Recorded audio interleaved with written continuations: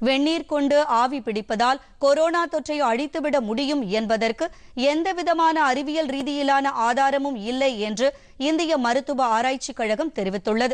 Corona தொற்றிலிருந்து மக்கள் தங்களை பாதுகாத்துக் கொள்வதற்கு தனிநபர் இடைவெளியை கடைபிடிப்பதுடன் அடிக்கடி கைகளை சோப்பு போட்டு கழுவுவதுடன் சுத்தமாக வைத்துக் கொள்வது அவசியம் என்பதை கருத்தில் கொள்ள வேண்டும் என்று ஐசிஎம்ஆர் தெரிவித்துள்ளது. கொரோனா தொற்று தொடர்பான அச்சங்களை பகிர்வதை தவிர்த்து உண்மைகளை அனைவருக்கும் தெரிவிப்பது அவசியம் என்றும் ஐசிஎம்ஆர் தெரிவித்துள்ளது.